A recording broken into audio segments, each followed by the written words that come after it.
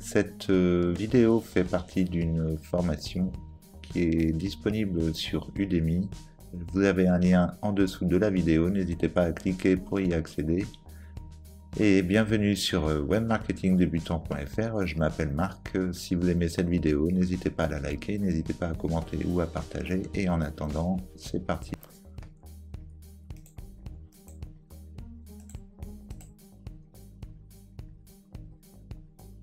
Je sais qu'il y a pas mal de personnes qui sont intéressées par l'affiliation sur Pinterest, donc euh, si vous n'avez pas de blog, ou alors euh, que vous avez un blog euh, également, quoi, vous pouvez faire facilement de l'affiliation sur, sur, Pinterest. Tout ce que vous avez besoin, c'est d'être inscrit à une plateforme d'affiliation. Vous avez plusieurs méthodes pour faire de l'affiliation sur Pinterest. Soit vous allez créer un compte généraliste et puis à ce moment-là, vous allez mettre un petit peu tout ce que vous allez trouver à l'intérieur. Imaginons que je m'inscris à l'affiliation Amazon.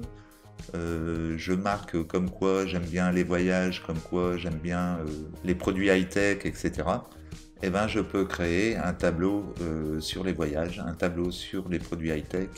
Enfin, je fais un compte a priori personnel et dans lequel à chaque coup que je vais mettre une image, euh, ça va représenter donc un produit high-tech et sur laquelle on va mettre le lien d'affiliation. Donc au niveau des liens, il faut surtout pas raccourcir les URL. Euh, si vous raccourcissez les URL, il y a de bonnes chances que Pinterest euh, bloque en fait le lien au niveau de vos images. Il faut toujours essayer d'avoir un lien avec un nom de domaine à l'intérieur. Donc ça c'est la première méthode, c'est d'avoir donc un, compte généraliste dans lequel vous allez prendre des produits et à chaque coup mettre des liens sur euh, vos images. Ou alors vous pouvez euh, créer un tableau thématique, un peu comme, euh, enfin carrément même, comme j'ai fait avec trottinette électrique. C'est-à-dire que je crée un compte qui va parler que des trottinettes électriques et à côté je fais tout un, écosystème qui tourne autour des véhicules électriques.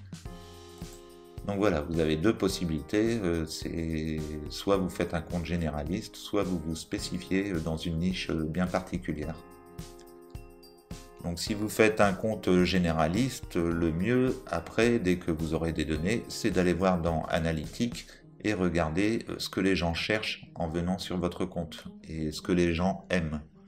Imaginons qu'il y a beaucoup de personnes qui sont dans la décoration, et bien à ce moment-là, vous pourrez créer un tableau euh, sur la décoration et mettre à l'intérieur des produits euh, Amazon qui parlent de décoration.